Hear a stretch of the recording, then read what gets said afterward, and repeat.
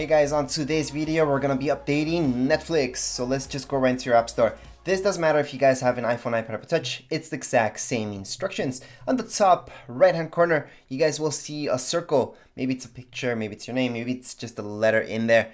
Anyways, it's whatever you guys picked. So let's just tap up there. Then if we scroll down, we should see all our updates. So we can hit on update all and Netflix should be in here somewhere or we can scroll down and just look for Netflix. Maybe we don't want to update everything because not all updates are that great, right? So let's just update Netflix. Now let's say we don't see Netflix, we can't find it, there's a bunch of apps. Don't worry about it, just hit on done for now. Go into search down here below and we're gonna look for Netflix.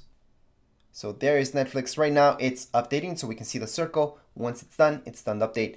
For most of you, these updates take seconds. Some of you, this could take minutes with really, really, really slow internet, and sometimes we do see a glitch where this happens right now. So you guys saw that Netflix, it said update, and then we have to update again.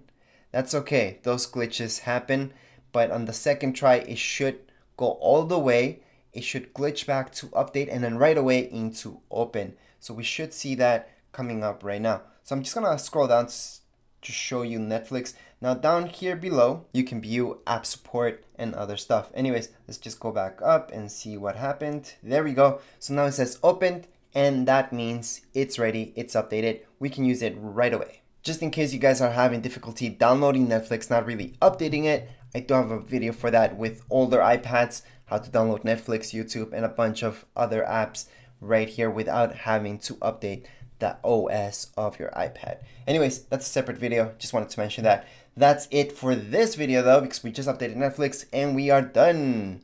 Anyways, if you guys have any comments, questions, you guys can write down here in the comments area and don't forget to subscribe and rate. Thank you.